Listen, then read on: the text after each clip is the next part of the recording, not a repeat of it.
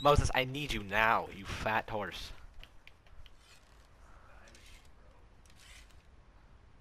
I don't know who's who's who. Whoa! How did you hit that so perfectly?